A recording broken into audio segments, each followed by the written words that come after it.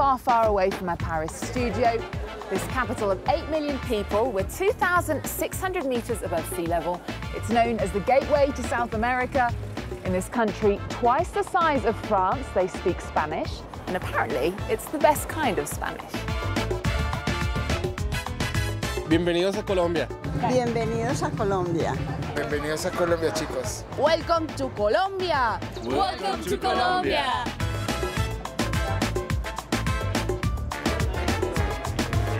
You probably know Colombia for all the wrong reasons. Civil war, murder, cocaine, gangs, corruption and kidnapping. Not so long ago, that was a pretty accurate description. So as France 24 opens its fourth channel, this time in Spanish with the headquarters here in Bogota, we're going on a journey to discover how this country is healing and moving on, and how art and culture are part of this transformation.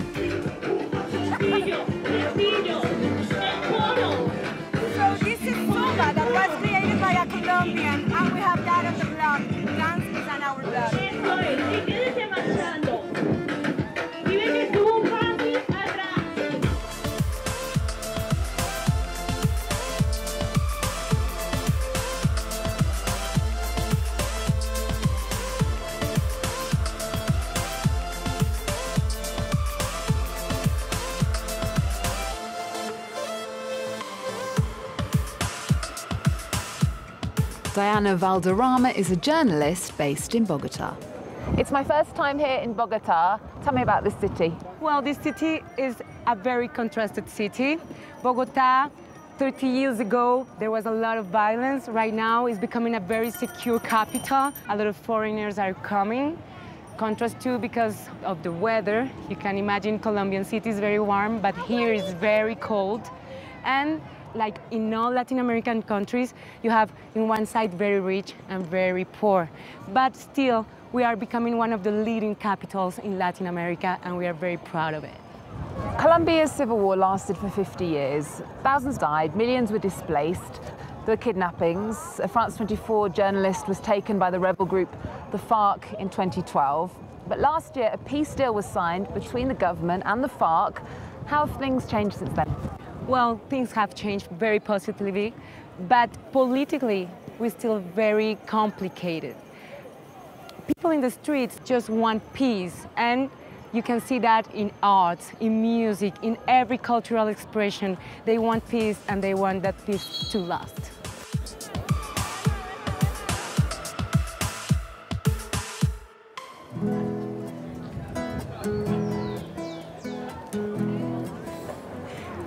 We then, Diana, now?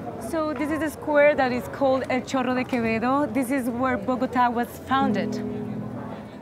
So this is Julian Conrado. He's well known as the singer of FARC. So he is a guerrillero. He sings about the social conflict, the so, a lot of social and political themes, and also for the peace right now. Quiero en vez de un fusil en mis manos llevar una flor. I'd rather have a flower in my hands than a, than a gun, guerra, because I love peace. Paz, porque amo la paz. Creo que es importante. I think it's important to reconcile the country so that people know what Julian did in the past and what he's singing about now, and that he's carrying a message of peace. Dar un mensaje de paz. I don't think it's right for an ex FARC soldier to sing in public. Why should they receive our support? I think it's wrong. Oprimidos tampoco opresores. I believe it's important that in these spaces, ex guerrilla fighters can feel integrated. As a guerrilla fighter for the left wing rebel group the FARC, he was once wanted for alleged kidnap, homicide, and forced recruitment. Exiled in Venezuela, he spent three years in prison. What's your mission with your music? La misión mía My mission nowadays is to encourage people to fight for a better life, llevar un mensaje a fight for the recognition of their rights. De lucha para que I use my songs to denounce events that are going on in my country, yo hago con mis canciones such as corruption cases hechos que suceden and human rights eh, violations. de actos de corrupción, de violación de derechos humanos. I call upon my llamo a mi people to stand up and fight for the rights they deserve. luche por los derechos que le corresponden. So, what would you say to people who say a former FARC member shouldn't be playing music in Bogota? Que nos dejen Well, I would tell them to let us sing and that they should listen to what we're singing about. dicen, si me escucharan If they would listen to me, they could understand and accept a little bit. They would be eh, filled with this feeling of love, and that would be great for them les iba a ir to learn how to love themselves. para que ellos mismos aprendan a amarse. What role does music and culture play in the peace process? Y en ese sentido, esta es una I think my music contributes to the building of a- a a la stable and long-term peace in my country. una paz estable Is there anything that inspires us more for peace than the feeling of love? nos invite más a la All those inspired by love del amor. O will walk towards peace. inspire en el amor siempre Love va a caminar does not harm anyone. El amor no le hace daño a nadie. Para mí esto no es obra del diablo, tampoco de Dios. De la avaricia de unos canallas nace la maldad. Quiero en vez de un fusil en mis manos llevar una flor.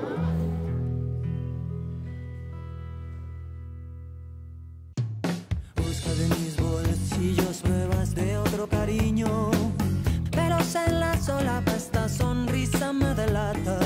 Singing about politics since the 90s. Grammy Award winning Aterciopelados. Alternative rockers making their voices heard across the world, singing for peace. You're ambassadors for peace for Amnesty International. Do you sing about peace in your music? Eh, nosotros en un país como Colombia, For us, living in a country like Colombia, it's difficult not to be exposed to our social and political situation. ¿No? Política, social. We write many songs ah, that deal with that situation, with war, que ver con esa situación, con la with the subject of those who've disappeared. But since we have had this problem for so long, tiempo, pues a veces- we need to make music about other de ahí y topics escribir de otros temas también, como in order to escape this black hole we've been in. negro de, de la situación del país. How do you see your role then as artists, as musicians in the peace process? Perhaps we won't be able to change much with one song, but in the past 25 years, we've been making music, singing constructive ideas, criticizing, giving our point of view. Eh, Perhaps we sow good things. ¿Acaso deseas sentir en ti todos los ojos y desencadenar silbidos al pasar? Mira la esencia, no las apariencias. Mira la esencia, no las apariencias. El cuerpo es solo un estuche y los ojos la ventana de nuestra alma aprisionada. Mira la esencia, no las apariencias. Mira la So, what are we doing in this arty residential area of Bogota? Well, you have tried Colombian coffee and you have listened to Colombian music, but you need to see another of our specialties. Let me show you. Welcome to the set of the daily TV show Night School. It's one of hundreds of telenovelas produced here every year. Colombia is number one in Latin America for TV series, exporting these shows across the world, dealing with subjects from drugs and violence to love and Mi romance. Hasta hace poco dicté cátedra en una de las universidades privadas más importantes de este país. Have you been in a lot of telenovelas? Yes. I've been doing this for 20, almost 25 years. This one is about a night school. People study at night and work by during the day.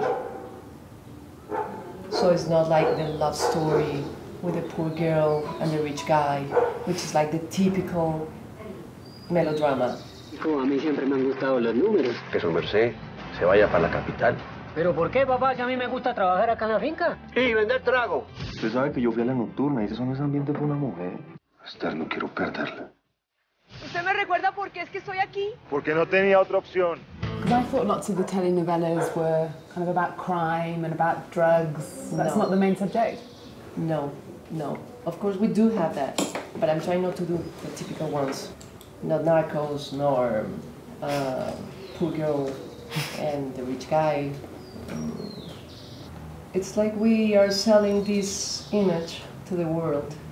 And Narcos is like a big success, and Escobar is like, wow, everyone knows about Escobar. So it's like, ah, that's what Colombians are, and that's what Colombians do. And that's it. And it's, we're not only that.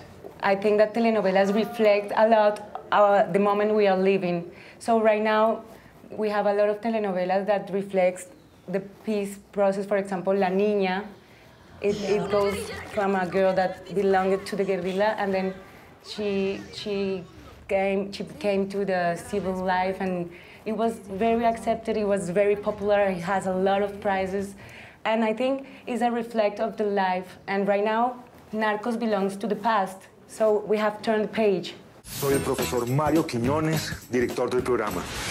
Mi vida es la administración y la educación. As an actor, do you think you have a role in helping improve the image of Colombia for the rest of the world? Of course, for more than 20 years, we've been trying to show a different image of Colombia. Colombia, like all countries, has positive and negative points, but we're most known for the latter. Sí, eh, pero se nos ha dado a conocer. I had the pleasure to travel to more than 130 countries to show the positive face of Colombia. For me, it was an honor, a joy to tell the world that we have other dreams and realities. Contarles a los demás que vivimos con otro tipo de, de We're not the people you think we are. Somos otro tipo We're not all Pablo. Escobar. He was just one man. Escobar, por ejemplo. Si Pablo Escobar era uno. No te fuiste y no quiero seguir jugando.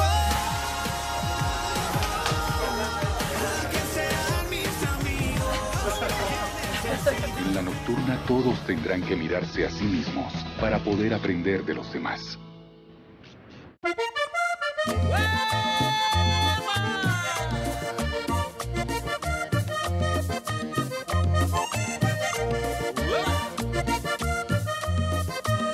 Hormiga, hormigas culonas, a la orden.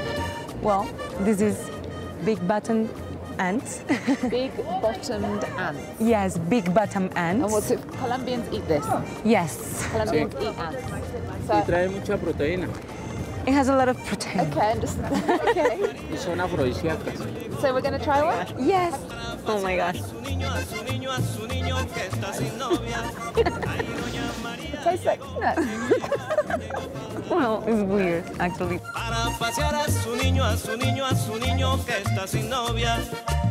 Y ella quiere ver.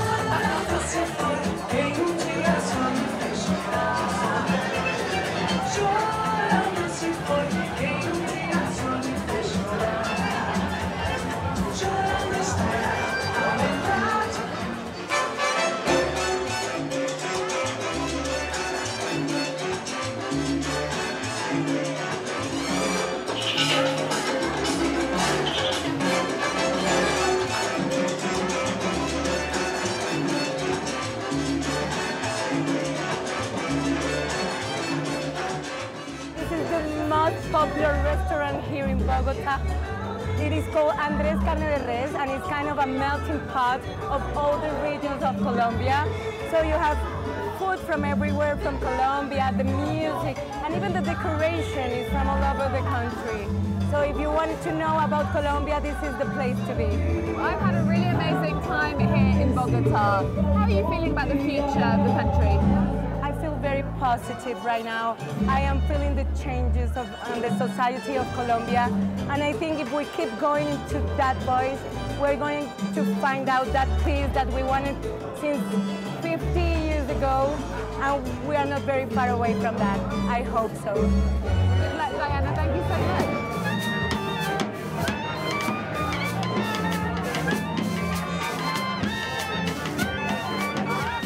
In our next show from Colombia, we'll be in the country's second city, Medellin, once home to one of the world's most infamous criminals, Pablo Escobar. 25 years ago, it was described as the most dangerous city in the world. We discover how, with the help of the arts, it's turning itself around.